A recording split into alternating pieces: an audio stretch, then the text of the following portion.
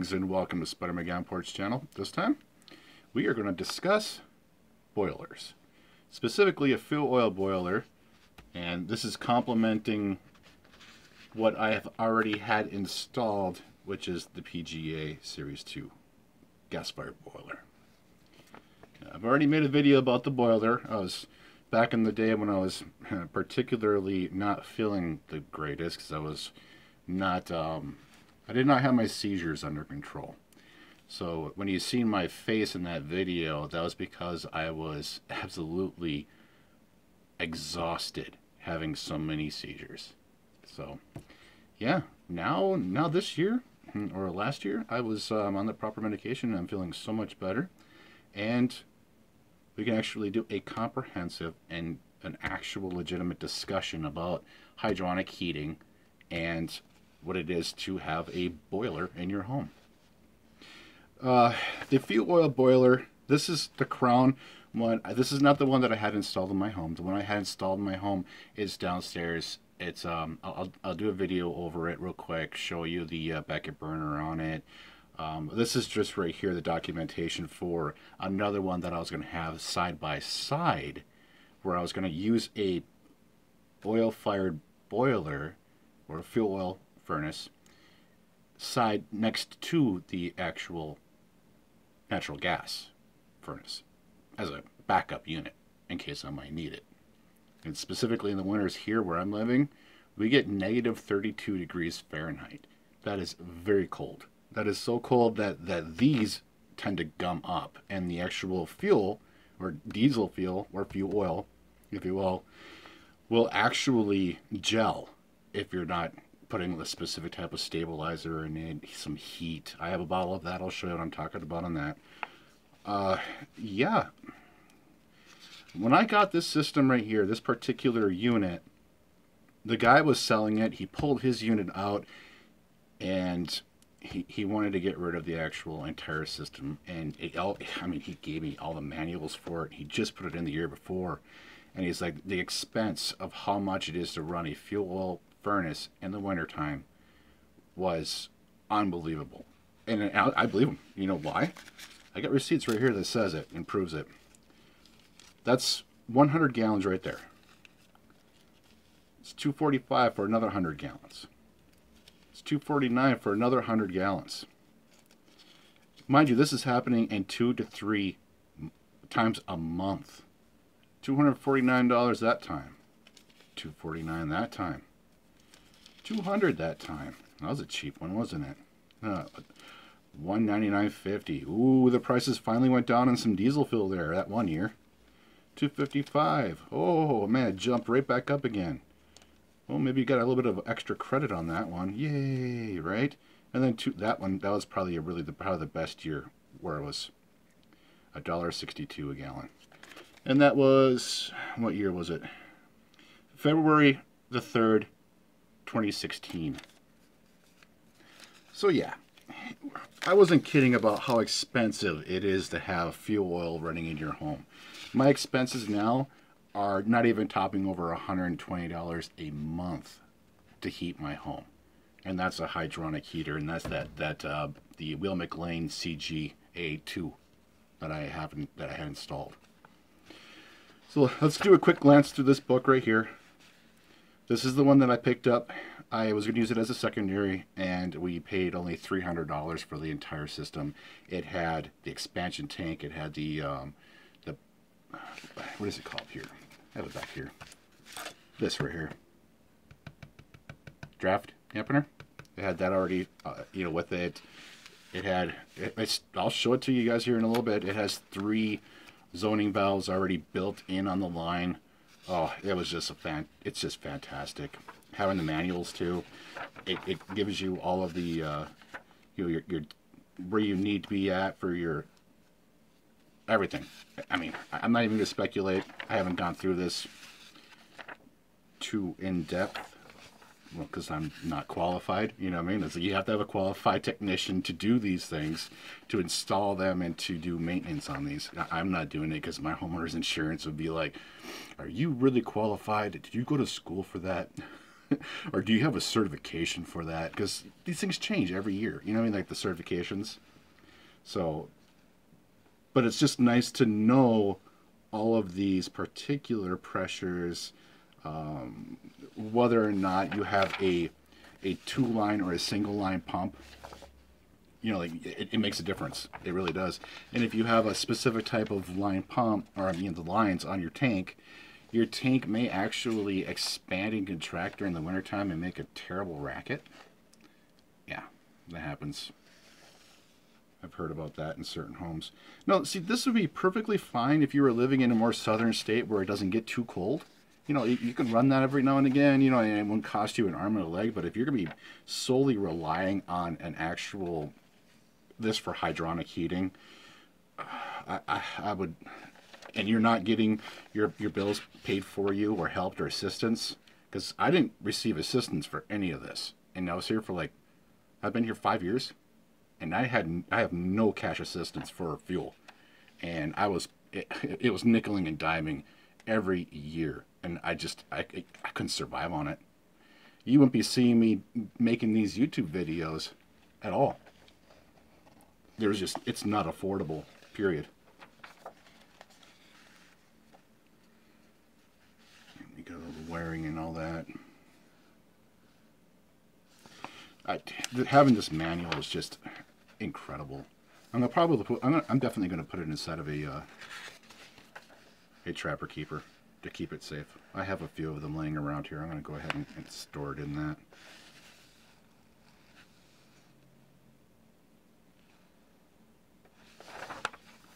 I guess I'm just gonna go over it pretty quick. I mean, this is what I was talking about where your tank is at. And you can have two lines. You can have a, a the in what is it, the inlet and the uh, whatever the one's called.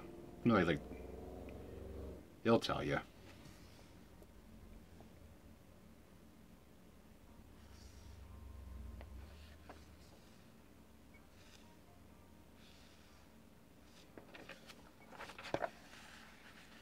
Give me one second here. All right, I'm back. Yeah, and this thing just you'll you'll hear this actually make its um, its noise when it's running. I'm trying to get that page.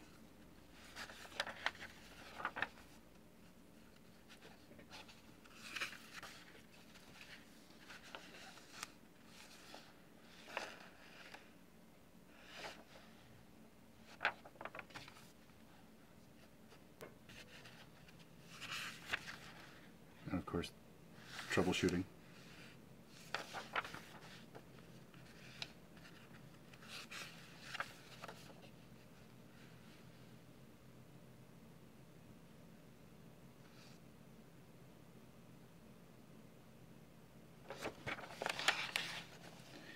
And this would be all the parts and components.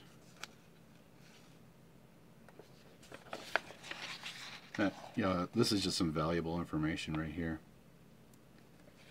having that. So you can scrap it out and part it out if I wanted to. I, I'd rather sell the entire unit all as, as one complete device. And here's the, the, the blower I was referring to. You can actually get a, uh, a kit. I'll change this from utilizing fuel oil or diesel or dyed diesel. and it's, it's a really neat little, uh, little device that you can attach to it that'll actually allow you to run um, propane, I think liquid propane or gas.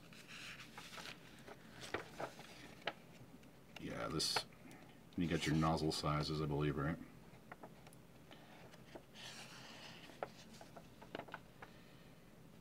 Yeah, this, this got a lot of, yeah, it's that, the Beckett.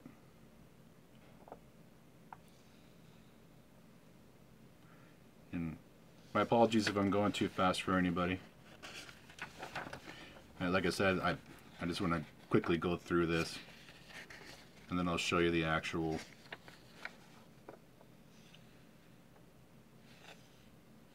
boiler.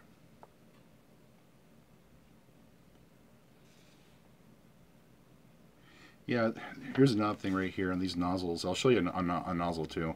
What happened with mine a couple winters ago, right along New Year's, was it New Year's?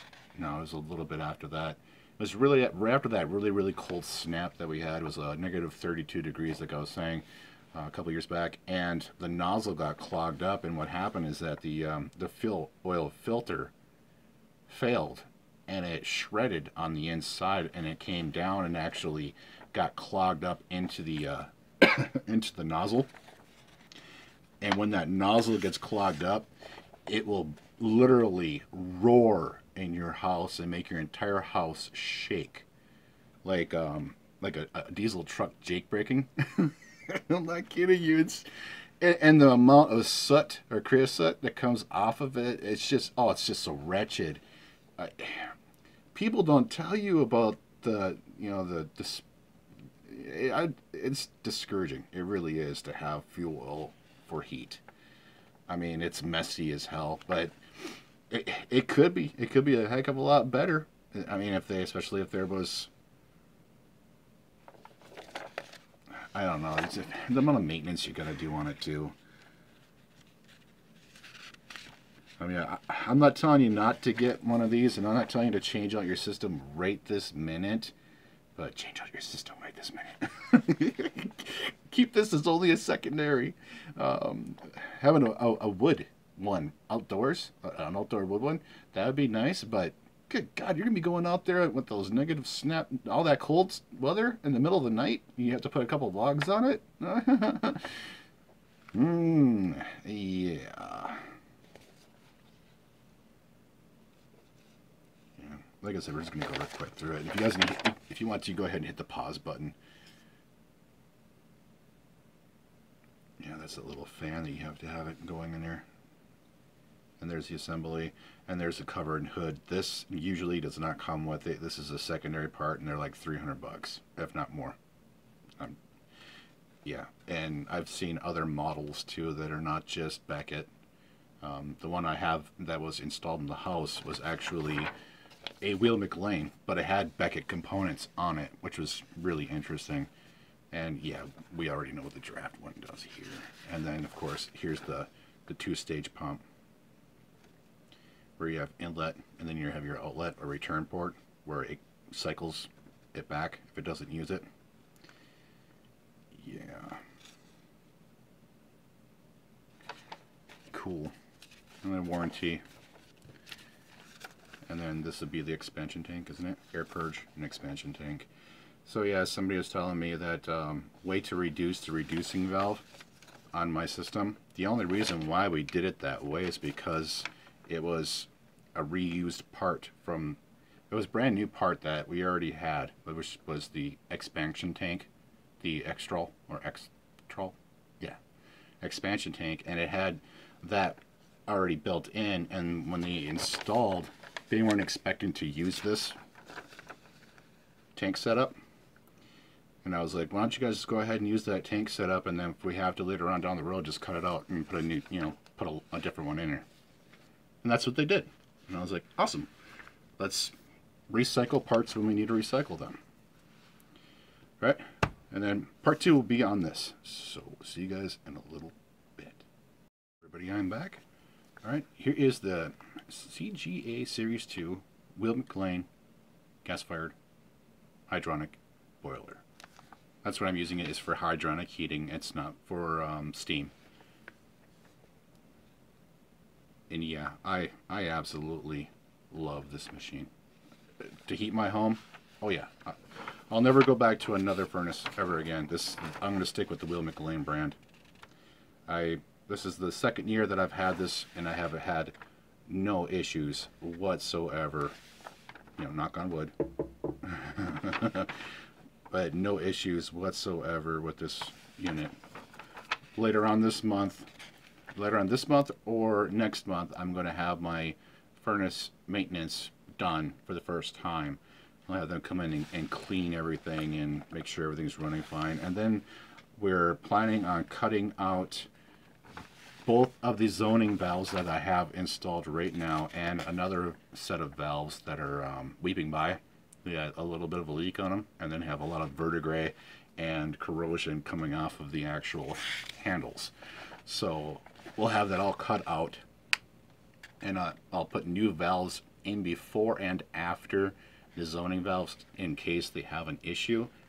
And if they do have an issue, we could easily take them back out again and put new ones in without having to dump the system, purge it, and then having to recharge it or whatever they have to do for that particular process.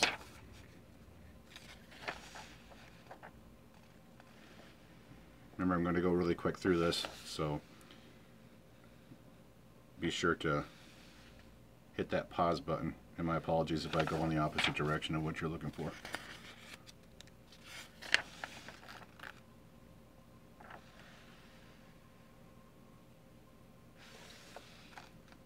Yeah, I, yeah, this system is awesome.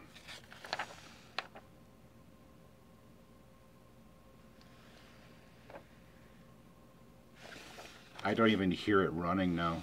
I am um, the other system. I that that fuel oil one. I heard that thing roaring every time, and with my stress levels, I and, and not having my medical condition under proper medication. Yeah, it was just a nightmare for me. I, every time I'd hear it roaring, I'd be like, "Oh, great! Is it going to go out? Is it going to run out of fuel again or, or you know it was just just so many things that just goes right through your mind like well for me it was it was like I, I couldn't it was just like a constant state of dread and despair thinking that this thing is just going to absolutely fail on me the fuel one this one no way no no this one i have i have no worries whatsoever about this one having any major issues for the next say, 20 years. If anything, it'd be the, um, what's the gas line area, the little, I'll show you here what I'm talking about. I'm sure that part will be displayed here on in a diagram somewhere. And I'm sure that the uh, reducing valve, the secondary reducing valve would probably fail too on the expansion tank because my original one did. And then, um, what else was a problem too? Um, I don't want to say a check valve.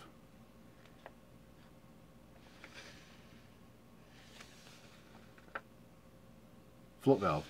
That's what it is, those float valves. Those things like to go bad every now and again too.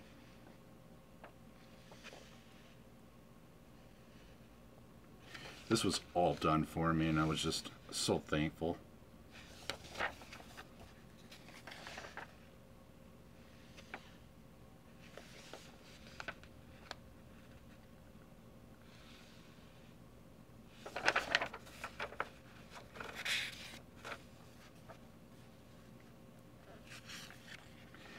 Have yet to change my um, boiler's temperature yet either. It's um, it's set at like a maximum of 180 degrees Fahrenheit. I don't want to adjust it any bit different. I go in there every, I think every other day or every, every week. I always go in there to check the system to make sure it's working properly.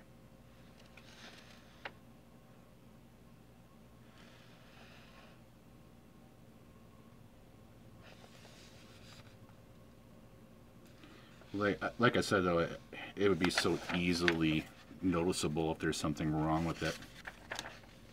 It would give you a code. Remember, you have a fault code right on it. It's got that little digital display.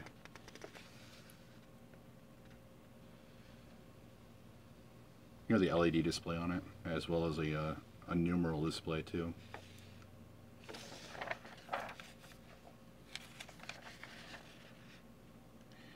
Yeah, I, I really uh, love the thermostats that I have too. The the old ones with the mercury filled uh, um, switch. With the hydronic heating, it wraps around the entire space or the perimeter of the area that you're heating, and by the time it reaches that thermostat, you're getting cooked out. Like you're already warm, and then by the time it hits that, it's warm again. And if you don't have it set just right, you know, the thermostat's not working properly, like those. Uh, yeah. Here's the warnings. Service and meat. Yeah, I, I always check it for daily stuff. Check boiler area, make sure there's no water anywhere or anything like that. Uh, Like I said, have I've had no issues whatsoever.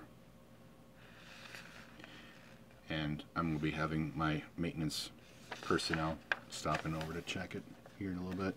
And this is a little, I was just gonna say a little bugger. This thing right here. Oh, I hate having this above the actual furnace. Like when you see them built, they'll they'll put a, a, a, one of those valves right there, and then if it pops or leaks, it'll get everywhere, all over everything. And you're like, oh come on. Same thing as an expansion tank too. If it if that tends to leak or something, it'll get all over everything.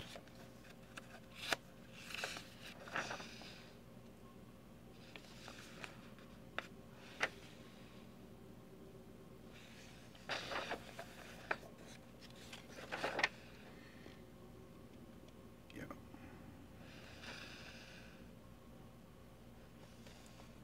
This is the guy I was telling you about right here. I love that.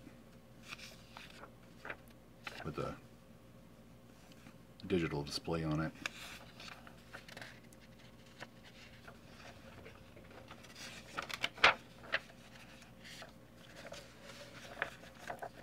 And feel free to put these videos on like 2x until you get to a spot where you uh, where you're looking for. Unless you're, if you want these manuals, um, you, you should be able to find them on their website in PDF format. I, I believe I already have that as well. I think I have it on PDF and this. Having a physical copy is nice too, so that you can bring it down with you. But if you have it on PDF, you just use your phone and you can go right through step by step.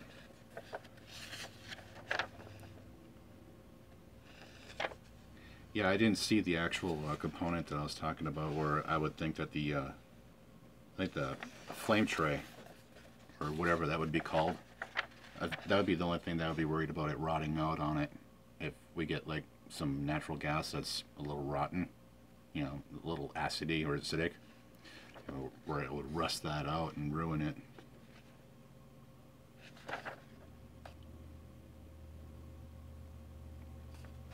Like, Come on, camera. What are you doing?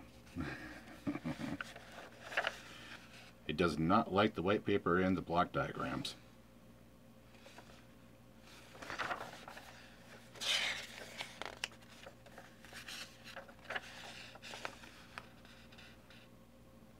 Okay, here we go.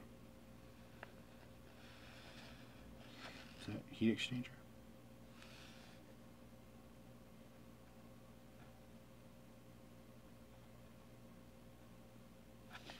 Radiation plate. Cool. There we go.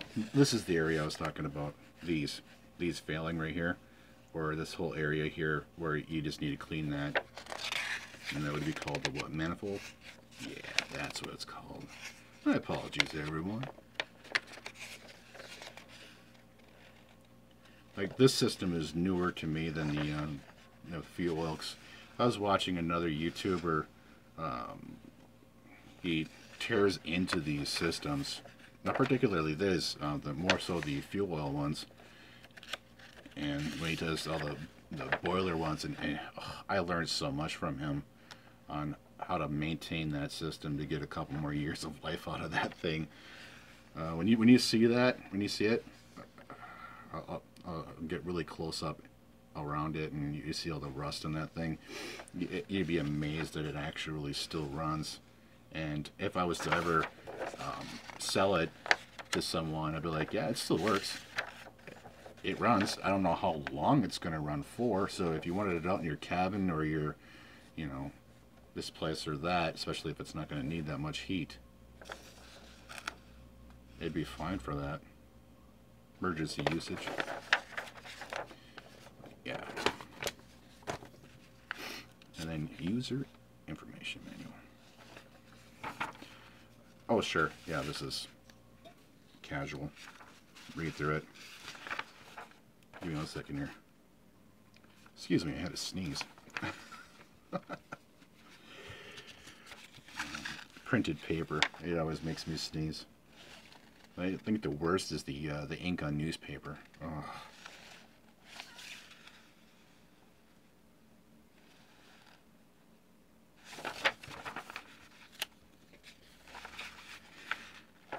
Yep.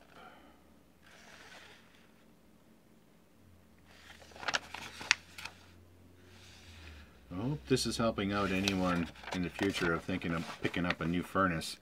Um, this was affordable. This was not going to break break the bank for me on having this specifically this particular unit installed. I had another person quote me around by seventy five hundred dollars for a similar system, but that was one that does hot water for the house as well, where it does both.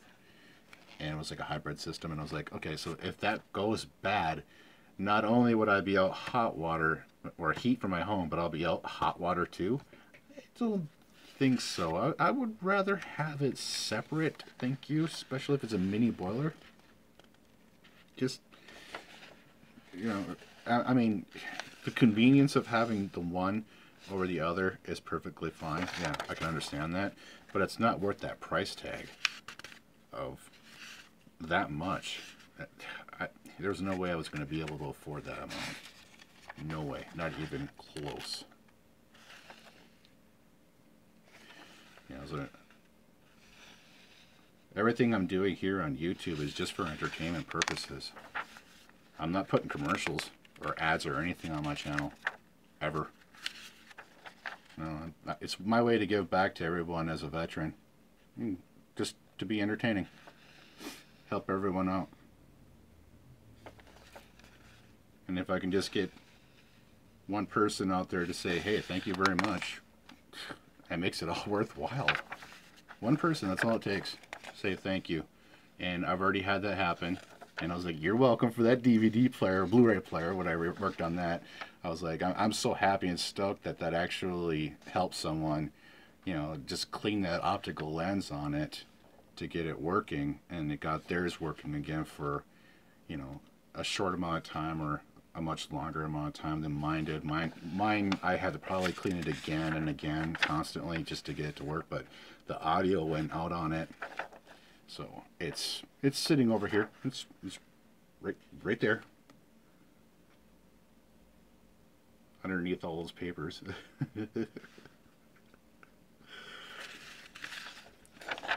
I have it hooked up to my monitor here. And I can watch a video in the background while I'm cleaning or working on something with no audio going. So I'm still using it. Well, I hope that this helps anyone in the future make their decision of whether or not having a fuel oil or having a gas-fired boiler in their home for heat. I will show the uh, the systems down. You know, I'll go down to my basement. I'll, I'll show each of the uh, the devices that I've. One was installed. I don't have the documentation for it. It's so old. It's that old.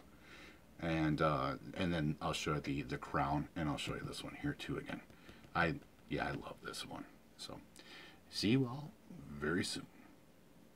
Hey everybody. So I'm back. All right, here's the original Weil-McLain system that I had installed. That's an Aquastat. Don't mind that. but that's old too, and I had to replace that as well. And as you can see that this stuff is just absolutely beat up. Give me one second here. As you can see, all the Chris that was barking out of it when I was having issues with it. There's the numbers. Hopefully you guys can get those all right. Weil-McLain. As you can see all the corrosion that was coming off of the, uh, no, see, this was nothing that was leaking out of here. No, what happened is that this, uh, where is it at? I was going to give you those, one of those valves. Yeah, but it was leaking from the top of it, and it was leaking all the way down the pipe, and it was just completely destroying all of it.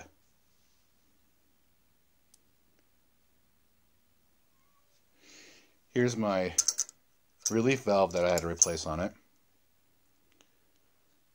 But yeah, this thing was just absolutely a nightmare. And this is where the, the reducing valve was attached to the expansion tank. And I just replaced the expansion tank with a new one. And that's what's on the system right now because this was brand new. And I'll show you what the old one is. This expansion tank right here goes onto the actual crown right here. That's the crown fuel furnace. And then this expansion tank goes onto the Weil-McLain, the old one.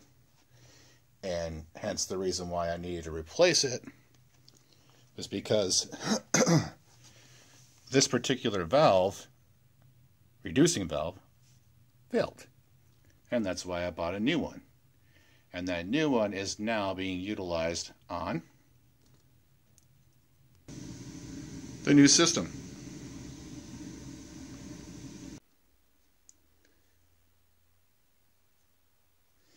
All right, now here is the crown system. We're going to go ahead and change now from the uh, the installed. This one was actually installed get a couple more things. And yeah, my basement's having issues, so I'll have to do some maintenance down here. I'm sure you guys saw the wall. I tore it out. There's the uh, three zoning valves. I'll get to those. But yeah. I don't know if this still opens or not, but this is what this one looks like on the inside. It is very clean. It doesn't look like it's clean, but it's actually very clean. But for $300, having this instead of this, I mean, I, I, had to go for that. I had to get it. And we picked it up. My buddy and I, the one I'm working on his stereo right now, that Pioneer, he helped me pick this one up. And as payment, excuse me, the gentleman that was parting with this, after he cut it all out, he uh, he offered us a fuel oil burn. It was a fuel oil hot water heater. Yeah, a, a fuel oil burner hot water heater. Uh, hopefully, all my camera work is doing all right for everybody.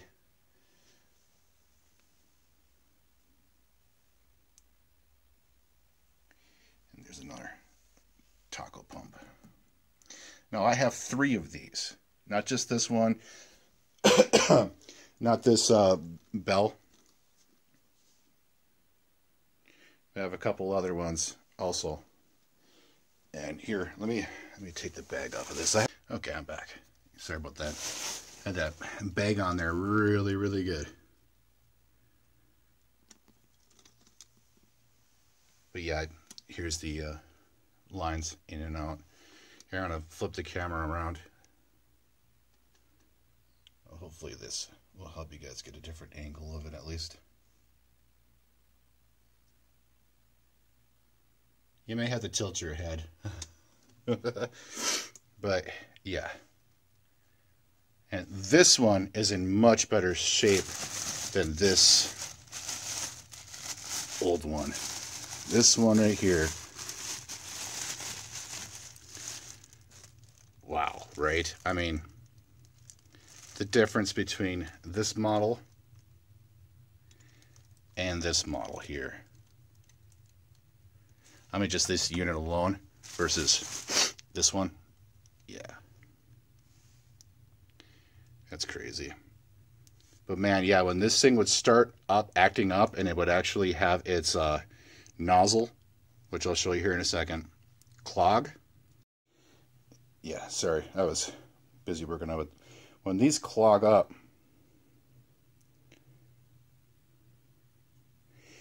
the noise that the system makes. I'm gonna try to get it so that you can actually at least see it some.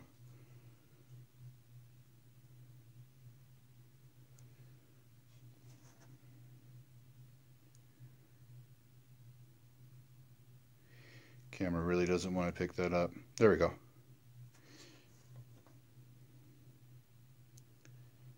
And there's no way to, to clean these off or to fix them once they gel up and clog on you.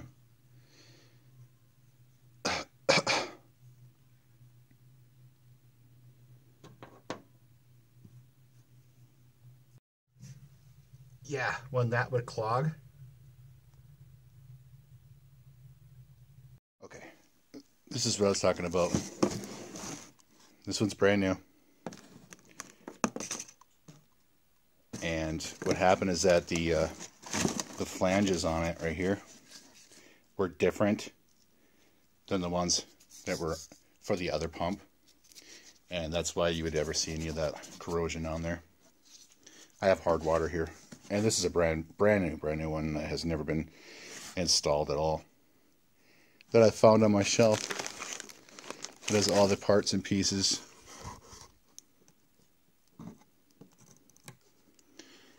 Yeah, I didn't even know I even had this one on my shelf back there, but I found it. So I have this pump right here, which is brand new, which I'll probably end up using next. And then this one right here will be my spare, or vice versa. I haven't decided yet.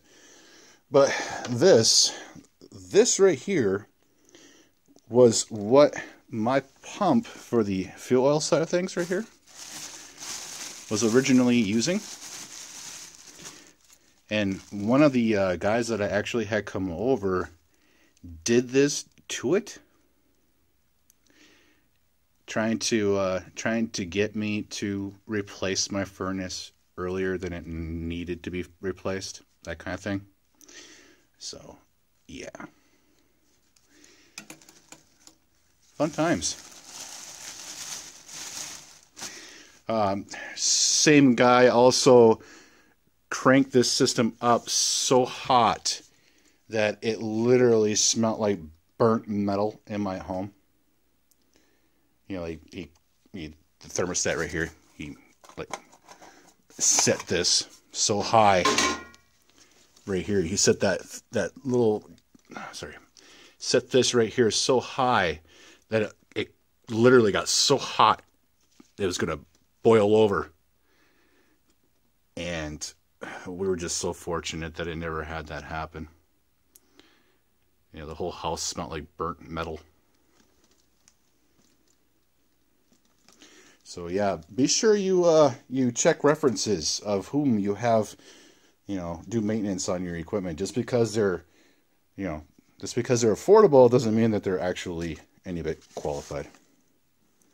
But yeah, I didn't know that this was blue. That's neat. I had not seen that one before. This is a brute.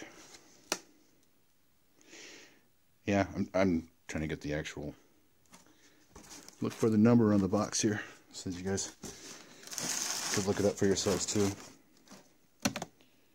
Maybe a part number or or something for it. Cool. And then this one I just picked up myself. And this is the new Amtrol tank that I used to. All right, give me a second.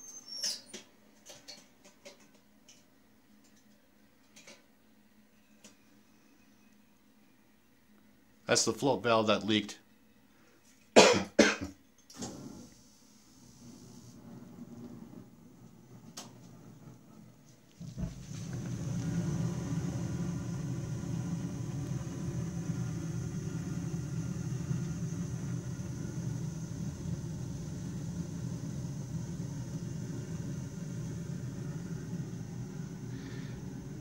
I know what somebody is talking about how you have a, a way to reduce the reducing valve. Um, this is a recycled part right here. This whole tank and this valve came as a part. And then once we're finished using this component, we'll replace it with just the regular.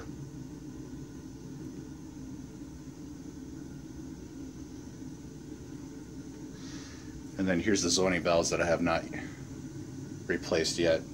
And what I'll do is I'll have them put a valve right here and a valve right here to shut off the water as well as right here and right here so that I can replace these at any time I want to. And of course I have some leaking right here. They're not leaking now, but they look how much verdigris is on that. So yeah, it's about time for me to replace a couple of these valves and all that. So this will be the year that I'm going to do that. So yeah, I just felt like sharing this with everybody. Two years having this, and I am super stoked. I absolutely love this system. It is amazing, and it was worth all of the time that I spent waiting for it. Have yourselves a wonderful day. Be healthy, stay safe, take care, everybody.